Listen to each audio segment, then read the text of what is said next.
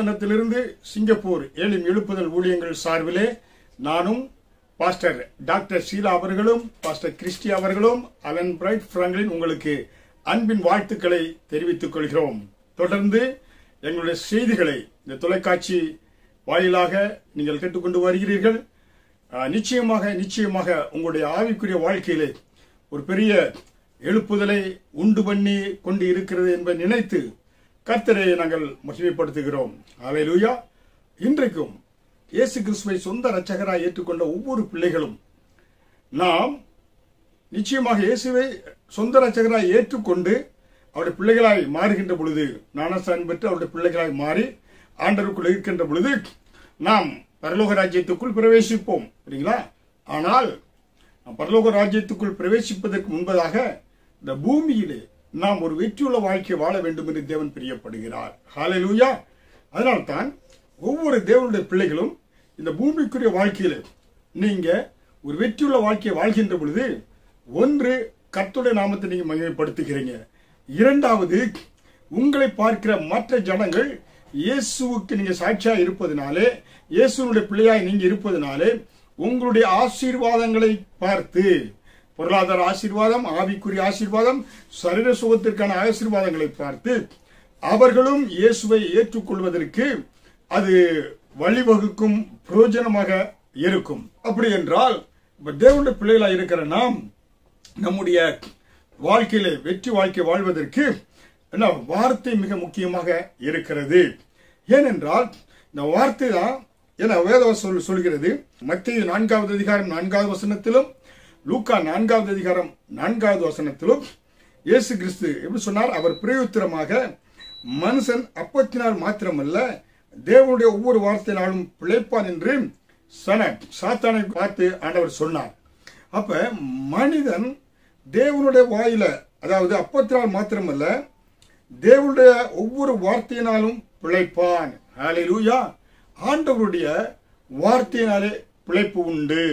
இந்த பூமியிலே நம்ம வாழ்ந்திருக்க வேண்டும் என்றால் வெற்றி வாழ்க்கை வாழ வேண்டும் என்றால் தேவனுடைய வார்த்தை மிக மிக முக்கியமாக இருக்கிறது. ஹalleluya அப்ப ஏனென்றால் இந்த வார்த்தை தான் உலகத்தையே உண்டாக்கியது என்று நம்ம பார்க்கிறோம். புரியுங்களா? ஏனென்றால் நீதிமொழிகள் பதினெட்டாவது அதிகாரம் வசனம் இருபதும் இருபத்தொன்னு பார்க்கின்ற பொழுது அவனவன் வாயின் பலனால் வயிறு நிரம்பும் அவனவன் உதடுகளின் விளைவினால் அவன் திருப்தியாவான். இந்த பூமிக்குரிய வாழ்க்கையில் ஒரு திருப்திகரமான வாழ்க்கை வெற்றி வாழ்க்கை செழிப்பின் வாழ்க்கை நீங்க வாழ வேண்டும் என்றால் அவனவன் வாயின் பலனால் வயிறு நிரம்பும். வாயில் என்ன வரும்? வார்த்தை. இந்த வார்த்தையின் பலனாலே வயிறு நிரம்பும். அவனவன் உதடுகளின் விளைவினால் அவனவன் திருப்தியாவான்.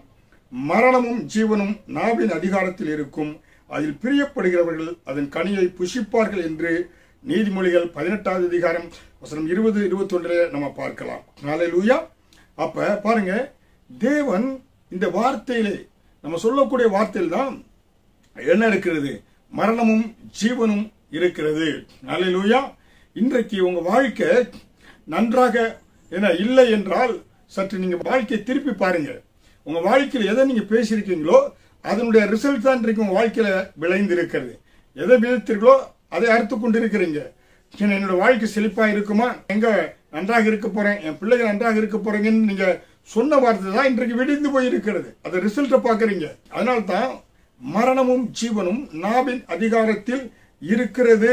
புரியுங்களா? அதில் நீ மரணத்தை குறித்து பிரியப்பட்டால் அதனுடைய கனியை நீ புசிப்பாய். ஜீவனை குறித்து வாழ்வை குறித்து செழிப்பை குறித்து பிரியப்பட்டால் அதனுடைய கனியை நீ புசிப்பாய் என்று வேதவசனம் சொல்லுகிறது. லூயா அப்போ அருமையான தேவனுடைய பிள்ளையை ஒன்றை நம்ம தெரிந்து கொள்ளணும். அதனால தான் பாருங்க ஏன்னா யோவான் ஒன்றாவது அதிகாரம் வசனம் ஒன்றிலே பார்க்கின்ற பொழுது ஆதியிலே வார்த்தை இருந்தது அந்த வார்த்தை தேவனிடத்தில் இருந்தது அந்த வார்த்தை தேவனாய் இருந்தது. இந்த ஆதியில் இந்த உலகம் படைப்பதற்கு முன்பதாகவே ஆதியில் என்ன இருந்ததுதான் வார்த்தை தான் இருந்தது. புரியுங்களா? வார்த்தை என்றால் என்ன? அது இயேசு கிறிஸ்துக்கு என்று பார்க்கிறோம் வேதத்திலே. பிதாபனவர் மகிமை புரிந்தவராய் இருக்கிறார். படைப்பினார் ஆற்றல் உள்ளவராக இருக்கிறார் வார்த்தையாக இயேசு கிறிஸ்து இருக்கிறார். பரிசுத்த ஆவியானவர் ஜலத்தின் மேல் அசைவாடினார் என்று பார்க்கிறோம். அப்ப ஆதியிலே இந்த உலகம் உருவாதற்கு ஆதியிலே ஆரம்பத்தில் இருந்தது என்ன? வார்த்தை. அந்த வார்த்தையை வைத்து தான் என்ன செய்யப்பட்டது? பாருங்க ஒரு படம் வரையினாலும் ஒரு எந்த காரியம் ஒரு புள்ளியிலிருந்து ஆரம்பம் ஆரம்பமாகும். அப்ப ஆரம்பம் அந்த ஆதி என்னவா இருந்தது? ஆரம்பம் இப்படியாக இருந்தது? அது வார்த்தையாக இருந்தது. ஹalleluya. அல்பா ஒமேகா என்று சொல்லின பாருங்க ஆதியும் அந்தவுமானவர் ஆதியானவர் எப்படியா இருந்தார்? வார்த்தையாக இருந்தார். யோவான் ஒன்று இரண்டிலே அவர் ஆதியிலே தேவனோடு இருந்தார். அந்த வார்த்தை இயேசுவானவர் தேவனோடு இருந்தார். அவர் சகலமும் அவர் மூலமாய் உண்டாயிற்று. உண்டானதென்றும் அவரால் அல்லாமல் உண்டாகவில்லை. அந்த வார்த்தையினால தான் சகலமும் பூமியில் உண்டானது.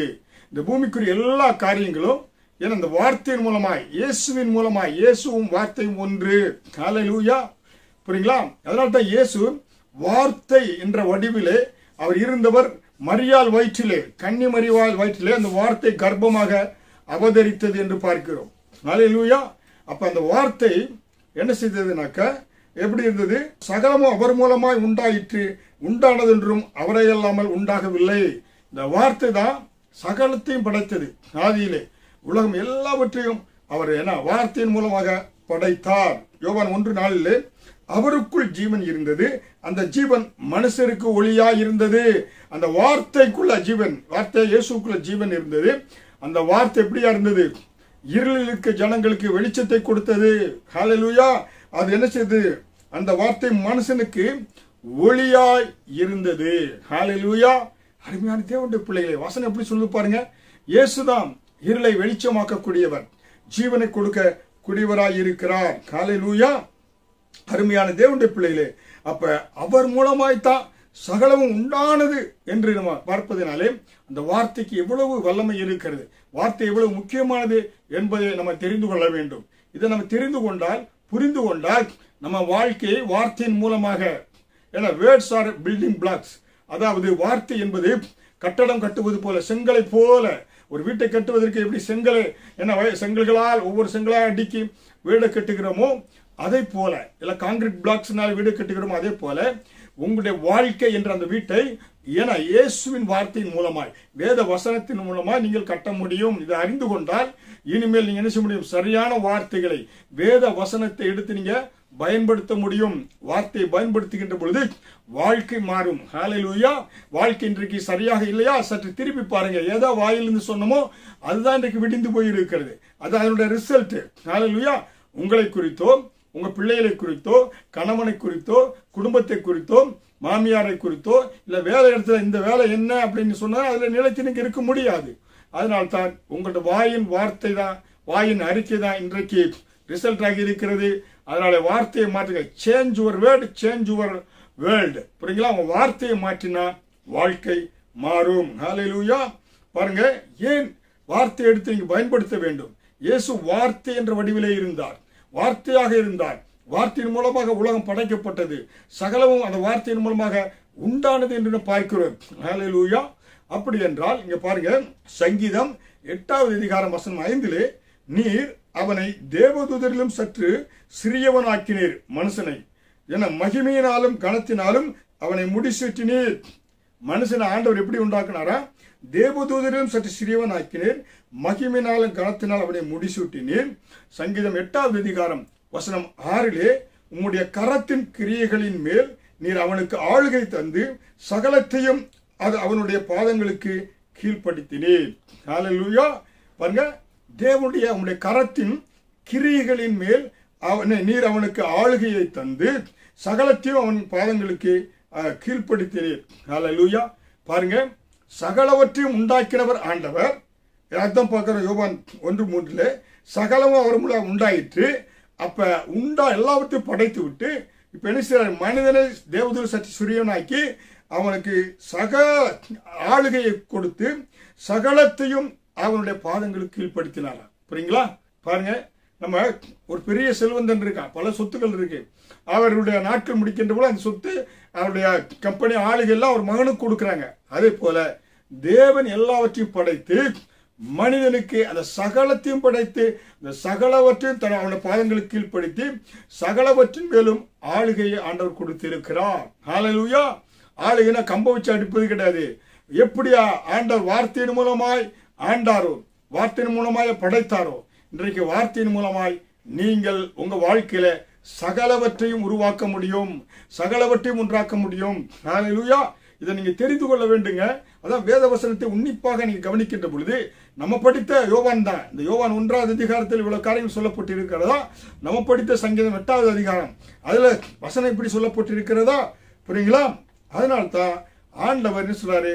சகலவற்றின் மேல் நமக்கு ஆளுகை கொடுத்து அவற்றை நம்ம பாதங்களுக்கு கீழ்ப்படுத்தி இருக்கிறார் லூயா அப்ப அருமையான தேவனுடைய பிள்ளைகளை நீங்க வார்த்தையை எவ்வளவு சீரியஸாக எடுத்து வார்த்தையை பொறுக்கி எடுத்து வாழ வைக்கக்கூடிய வார்த்தை உங்களை செழிப்பாக்கக்கூடிய வார்த்தை உங்களுக்கு ஜீவனை கொடுக்கக்கூடிய வார்த்தை உங்களுடைய வாழ்க்கையில மரணத்தை விரட்டக்கூடிய வார்த்தை உங்க வாழ்க்கையில இருளை விரட்டக்கூடிய வார்த்தை உங்க வாழ்க்கையில ஏன்னா ஒழுங்கின்மையை நீக்கக்கூடிய ஒரு வார்த்தை உங்க வாழ்க்கையில வெறுமையை நீக்கக்கூடிய வார்த்தையை எடுத்துறீங்க பயன்படுத்த வேண்டியது மிக மிக அவசியமாக இருக்கிறது. அருமையான தேவண்ட பிள்ளைகளே. காலையிலுயா அதனால்தான் ஏசாயா ஐம்பத்தி ஐந்தாவது அதிகாரம் வசனம் பதினொன்றிலே மாறியும் உறைந்த மலையும் வானத்திலிருந்து இறங்கி அவ்விடத்திற்கு திரும்பாமல் பூமியை நனைத்து அதில் முளை கிளம்பி விளையும்படி செய்து விதைக்கிறவனுக்கு விதையும் புசிக்கிறவனுக்கு ஆகாரத்தையும் கொடுக்கிறது எப்படியோ அப்படியே என் வாயிலிருந்து புறப்படும் வசனமும் இருக்கும். அது வெறுமையா என்னிடத்திற்கு திரும்பாமல் அது நான் விரும்புகிறதை செய்து நான் அதை அனுப்பின காரியமாகும்படி வாய்க்கும். ஹalleluya அருமையான தேவனுடைய பிள்ளைகளே மலையை பாருங்க. வானத்திலிருந்து மேகக்கூடிய பெரிய மலை அப்படியே நேரம் வந்து திரும்பி மா- மா- வானத்துக்கு போயிருதா? ஆனால் அது ஒரு காரியத்தை செய்யக்கூடியதாக இருக்கிறது. அந்த காரியம் பூமியை நனைத்து விதையை விதை விதைத்த விதைகளை முளைக்க செய்து அது என்ன செய்கிறதுனாக்க அது வெறுமையாய் திரும்ப அதை புசிக்கிறதுக்கு ஆதாரத்தை கொடுத்து அது வெறுமையாய் திரும்பாதபடி தேவன் அனுப்பின காரியமாய் அதை செய்யக்கூடியதாக இருக்கிறது. ஆலையிலூயா அந்த வா இங்க பார்க்கணும் பாருங்க மழை எப்படியாக? இப்ப வார்த்தை தேவனுடைய வாயிலிருந்து புறப்படக்கூடிய ஒரு வார்த்தை அது தேவன் விரும்புகிற காரியத்தை தேவனுடைய சித்தத்தை நிறைவேற்றி விட்டு தான் அந்த வார்த்தை திரும்பும். அப்ப அந்த வார்த்தையை நீங்க எடுத்து பார்த்து பயன்படுத்தினால் உங்களுக்கு சகலவற்றின் மேல ஆளுகை கொடுத்திருக்கிறார். உங்களுக்கு சகலவற்றின் மேல அதிகாரத்தை கொடுத்து உங்களுக்கு உங்களுக்கு கீழ்ப்படுத்தி இருக்கிறார் நீங்கள் ஆண்டு கொள்ளுங்கள் என்று ஆண்டவர் நமக்கு அதிகாரத்தை கொடுத்தாரு. அப்படி என்றால் அந்த வார்த்தையை நீங்க எடுத்து பார்க்கின்ற எடுத்து பயன்படுத்துகின்ற பொழுது எப்படி தேவன் வார்த்தையை மூலமாக சகலவற்றின் உலகத்தை படைத்தாரோ உங்க வாழ்க்கையிலே இந்த வார்த்தையை எடுத்து நீங்க பயன்படுத்துகின்ற பொழுது அவன் தேவன் விரும்புகிற காரியமாய் அந்த வார்த்தை உருவாக்கும். ஹalleluya அப்படி என்றால் உங்கள் வாயை சுற்றி எப்பொழுதும் தேவதூர்கள் காத்து கொண்டிருக்கிறாங்க. நீங்கள் என்ன பேசுகிறீங்களோ அதை நிறைவேற்றுவதற்காக பணிவிடை ஆவிகளாக ஆண்டவர் வைத்திருக்கிறார். வாயை திறந்த நல்ல வார்த்தை வந்தால் உடனே அந்த காரியம் நல்ல காரியத்தை செய்து முடிக்கும்படியாய். கெட்ட காரியம் செய்தால் பிசாசின் வாசலை திறக்கிறீங்க அவன் நாசம் உண்டாக்குவான். புரியுங்களா? காரியங்களை செய்வான். ஹalleluya புரியுங்களா? அருமையான தேவனுடைய பிள்ளைகளை அதனால்தான் என்று தாவி ஏன்னா யோபுடைய வாழ்க்கையில் பாருங்க கர்த்தர் கொடுத்தார் கர்த்தர் எடுத்தார். அவனுடைய வாழ்க்கையில் கர்த்தர் எடுப்பது கிடையாது. புரியுங்களா? கர்த்தர் கொடுத்தார்னா ரெட்டிப்பான நன்மைகளை கொடுத்தார் ஆசீர்வாதத்தை கொடுத்தார். அவர் கொடுக்கிறவர் அல்ல எடுக்கிறவர் அல்ல அழிப்பவர் அல்ல. அதனால் இந்த யோவான் பத்து பத்தில் என்ன சொல்லப்பட்டிருக்கிறது? நானோ ஜீவன் உண்டா இருக்கும் அந்த ஜீவன் பரிபூர்ணப்பட வந்தேன் என்று சொல்கிறார். பிசாசு என்ன செய்கிறான்? திருடன் திருடவும் கொல்லவும் அழிக்கவுமே வருகிறான் என்று வேறொன்றுக்கும் வரான். நானோ ஜீவன் உண்டாகி இருக்கும். அந்த ஜீவன் பரிபூர்ணப்பட வந்தேன். தேவன் இருக்கிறார் என்றால் அவர் ஜீவனை கொடுக்கக்கூடியவன். ஜீவன் என தன்னுடைய சொந்த குமாரனைய பூமிக்கு அனுப்பி பிதாவானவர் ஜீவனை கொடுத்து நம்மை வாழ வைத்து இருக்கிறார் ஹalleluya. இப்போ அருமையான தேவனுடைய பிள்ளைகளை நீங்க ஒன்று தெரிந்து கொள்ளணும். தேவனுடைய வார்த்தை உருவாக்கக்கூடிய வார்த்தை அது வெறுமையாய் திரும்பாத வார்த்தை. வார்த்தை எவ்வளவு சீரியஸாக எடுத்து நம்ம வாழ்க்கையை நம்ம அமைக்க வேண்டும். அதனால தான் மீண்டும் மீண்டும் சொல்றேன். உங்க வாழ்க்கையில் திருப்தி இல்லையா? சற்று சோசித்து பாருங்க என்னத்தை நம்ம பேசி இருக்கிறோம் கணவன் மனைவி வாழ்க்கை குடும்ப வாழ்க்கையில அலங்கோலமா இருக்குதா? ஏன்னா பிரச்சனையா இருக்கிறதா எதை நீங்க மனைவியை பார்த்து பேசுறீங்க எதை கணவனை பார்த்து பேசியிருக்கீங்க? எதை பிள்ளை பார்த்து இப்ப நீங்க பேசிருக்கீங்க சற்று ஆராய்ந்து பாருங்க. வேலை இடத்துல உங்க வேலையை குறித்து நன்றாக பேசியிருக்கீங்களா? உங்களுடைய எஜமானன் குறித்து நன்றாக பேசியிருக்கீங்களா? உங்க வேலை இடத்துல ஒரே நிம்மதி இல்லை என்று என இருக்கிற காரணம் என்ன? உங்கள் வாயின் வார்த்தைகள். ஹalleluya அதனால் வாயின் வார்த்தைகள் சூழ்நிலைகளை மாற்றக்கூடியதாக இருக்கிறது. வாயின் வார்த்தைகள் பிரச்சனைகளை மாற்றக்கூடியதாக இருக்கிறது. ஹalleluya அதனால் தான் ஆண்டவர் என்ன சொல்றார் பாருங்க?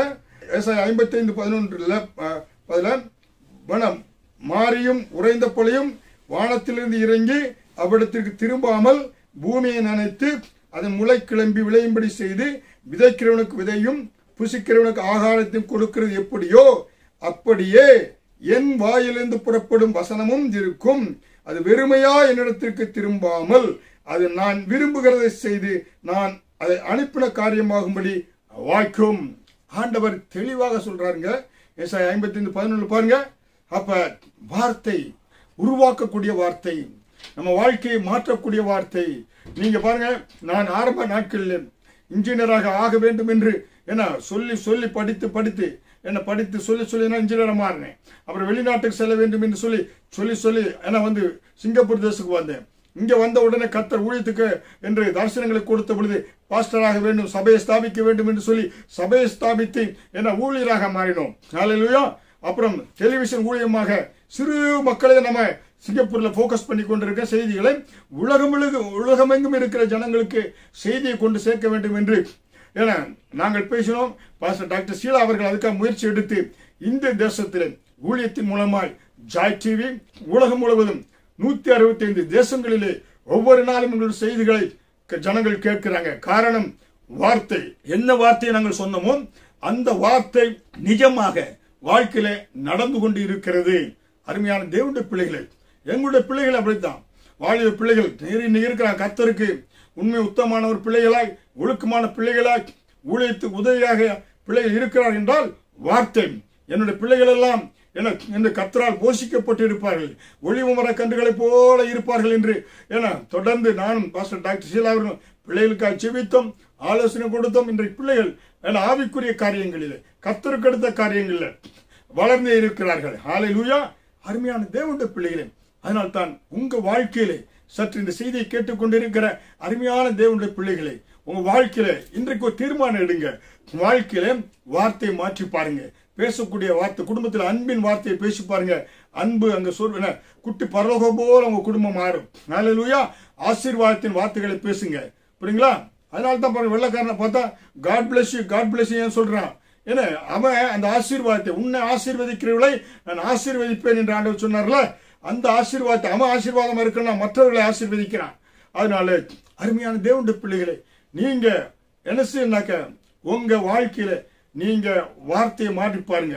வார்த்தையை மாற்றி பாருங்க வாழ்க்கை மாறும்.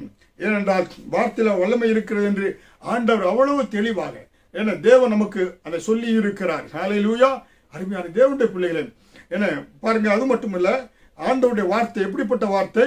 தேவனுடைய வார்த்தை உருவாக்கும் வார்த்தையாக இருக்கிறது.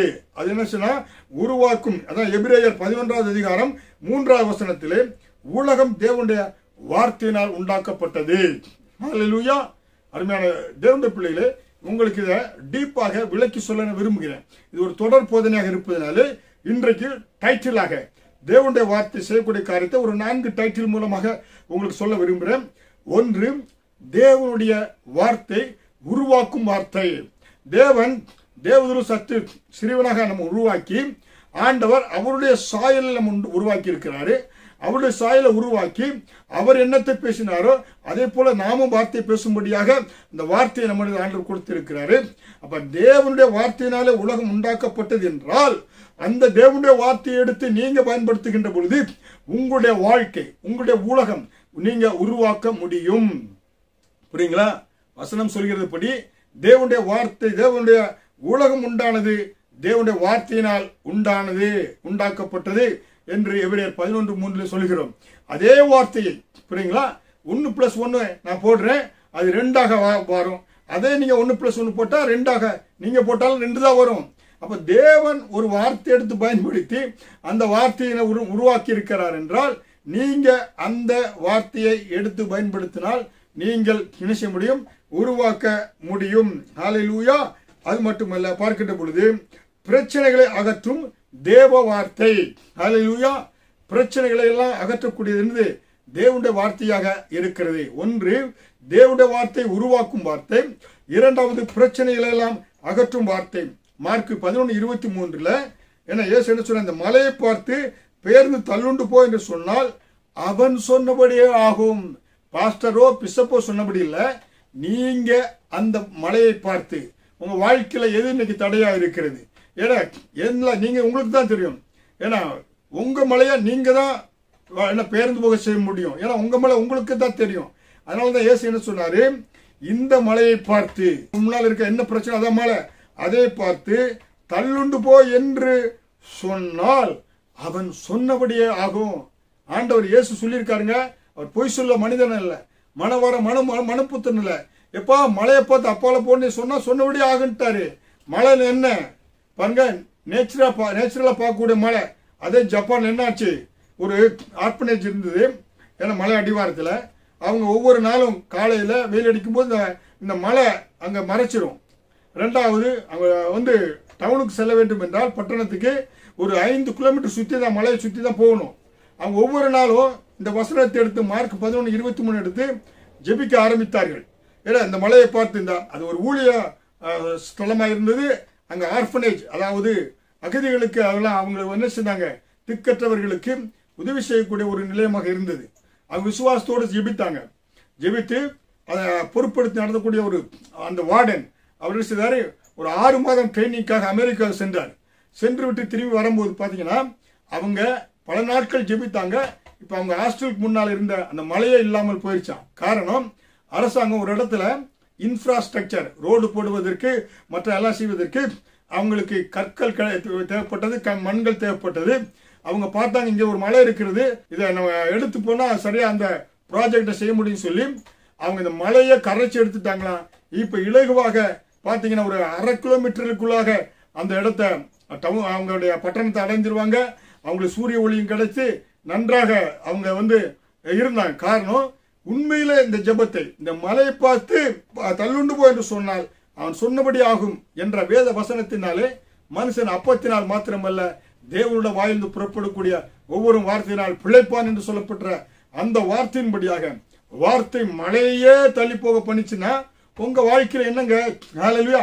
இயற்கை மழையே போயிடுச்சு அப்படின்னா உங்க வாழ்க்கையில என்ன பிரச்சனை?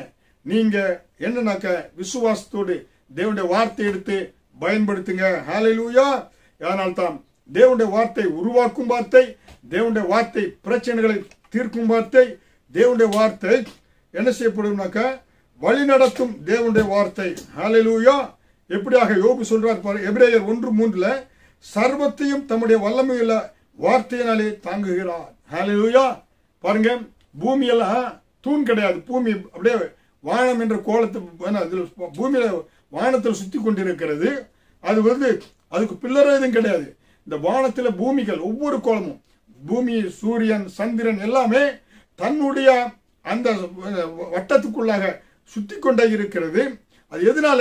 தேவனுடைய வார்த்தையினாலே தேவன் அதை தாங்குகிறாராம். அலையிலுயா சகலத்தையும் சூரியன் சந்திரன் நட்சத்திரங்கள் எல்லாம் தேவன் தன்னுடைய வார்த்தையினால் தாங்குவது மட்டுமல்ல அதற்கு நியமித்த அந்த வழியிலே அந்த ஓட்டத்தில் அது ஓடிக்கொண்டே இருக்கிறது. அப்ப கர்த்தர் சகலவற்றையும் வழி நடத்தக்கூடிய தேவனுடைய வார்த்தை. ஹalleluya எவ்வளவு பிரமிப்பு பாருங்க. சூரியன் எவ்வளவு பெரிய கோள் பூமி எவ்வளவு பெரிய கோள். எல்லாவற்றையும் கர்த்தர் தாங்கி அற்புதமாய் வழி நடத்துகிறார். அலையிலூயா அருமையான தேவனுடைய பிள்ளைகளே உங்க வாழ்க்கையில தேவனுடைய வார்த்தை எடுத்து பயன்படுத்துங்க. உங்களுக்கு அது வழியை காட்டும். அதனால தான் இயேசு சொன்னார் வார்த்தையாக இயேசு நானே வழியும் சத்தியமும் ஜீவனுமாய் இருக்கிறேன் என்ன என்று ஒருவனும் பிதாவினிடத்தில் வரான் என்று சொன்னார். இந்த பூமிக்குரிய வாழ்க்கையிலே வழி உங்களுக்கு இயேசுவாக இருக்கிறார். வழி கொடுக்க வழி நடத்தக்கூடியவன் வழிகாட்டக்கூடியவன் இயேசுவாக இருக்கிறார். ஹalleluya. அது மட்டுமல்ல தேவனுடைய வார்த்தை என்பது உங்களை பாதுகாக்கக்கூடிய ஒரு வார்த்தையாக இருக்கிறது. ஹalleluya. ஒன்று உருவாக்கும் வார்த்தை. இரண்டாவது பிரச்சனைகளை தீர்க்கக்கூடிய வார்த்தையாக தேவனுடைய வார்த்தை இருக்கிறது. மூன்றாவது தேவனுடைய வார்த்தை வழி நடத்தக்கூடிய வார்த்தையாக இருக்கிறது. ஹalleluya நான்காவதாக தேவனுடைய வார்த்தை எப்படிப்பட்ட வார்த்தையாக இருக்கிறது? தேவனுடைய வார்த்தை பாதுகாக்கும் ஒரு வார்த்தை. ஹலலுயா யோபு முப்பத்தெட்டு பத்துல சமுத்திரத்திற்கு தாழ்பால்களையும் கதவுகளையும் போட்டு இம்மட்டும் வா மிஞ்சு வராதே உன் அலைகளின் பெருமையை இங்கே அடங்க கடவுது என்று சொன்னார். ஹலலுயா பாருங்க தேவனுடைய வார்த்தை சமுத்திரம் மூலம் அப்படியே அலைகளால் வந்து பூமியில் இருக்கிற மக்கள் எல்லாம் அழித்து போகாதபடி தேவன் அதற்கு அதிலிருந்து பாதுகாக்கக்கூடியது தேவனுடைய வார்த்தையாக இருக்கிறது. ஹalleluya அருமையான தேவனுடைய பிள்ளைகளே பாருங்க ஒன்று உருவாக்கக்கூடிய வார்த்தை இரண்டாவது பிரச்சனைகளை தீர்க்கக்கூடிய வார்த்தை மூன்றாவது வழிநடத்தக்கூடிய வார்த்தை நான்காவதாக பாதுகாக்கக்கூடிய வார்த்தை. இந்த பூமியிலே நமக்கு இந்த நான்கு காரியங்கள் அவசியமாக இருக்கிறது. நம்ம வாழ்க்கையில எதை விரும்புகிறோம் அதை உருவாக்கணும் அது நடக்கணும் அது உண்டாக வேண்டும் என்று விரும்புகிறோம். தேவனுடைய வார்த்தை எடுத்து பயன்படுத்துங்க. பிரச்சனையா? தேவனுடைய வார்த்தை எடுத்து பயன்படுத்துங்க. பிரச்சனை நீங்கும். ஏன்னா அதுக்கு அடுத்து பார்த்தீங்கன்னா உங்களை வழி ஒன்றென்று ஒவ்வொரு நாளும் உங்களை வழி நடத்தணுமா? கத்திரை வார்த்தை எடுத்து பயன்படுத்துங்க. அது உங்களை வழி நடத்தும். நானே வழி என்று சொன்னாரே. அதே போல உங்களை பாதுகாக்க வேண்டும் என்றால் தேவனுடைய வார்த்தை எடுத்து சங்கீதம் தொண்ணூத்தொன்று எடுத்து முழு குடும்பத்தின் மேலே. ஏமே ஏன்னா கத்தோட தேவனுடைய அந்த பாதுகாப்புக்குள்ள வந்துருங்க. உன்னதமான ஒரு மறைவில் இருக்கிறவன். சர்வ வல்லவருடைய நிலையில் தங்குவான். அந்த வார்த்தை எடுத்து என்னை நீ பயன்படுத்துகின்ற பொழுது பகலில் பறக்கக்கூடிய அன்பு கொள்ளை நோய்கள் எல்லாவற்றிலிருந்தும் உங்களை கத்த விலைக்கு பாதுகாப்பான். நாளையிலூயா அருமையான தேவனுடைய பிள்ளைகளை தொ- தொடர் போதனையாக இருப்பதினாலே என்ன செய்யணாக்க இந்த கார்த்தை குறித்து உங்களுக்கு தொடர்ந்து நான் பேச இருக்கிறேன்.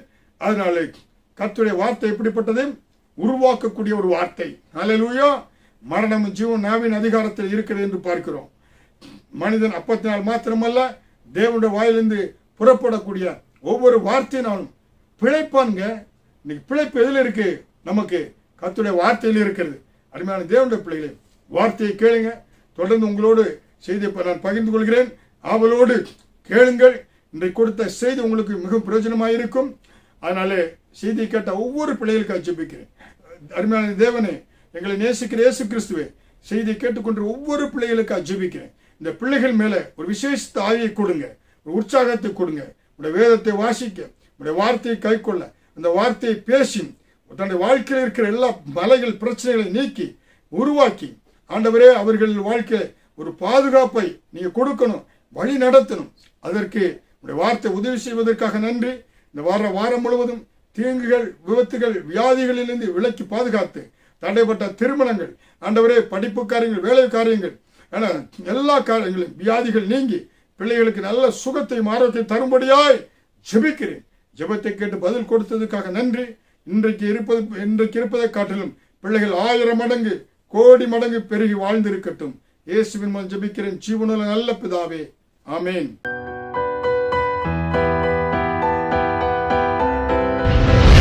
கர்த்தர் உங்களை ஆசீர்வதிப்பாராக.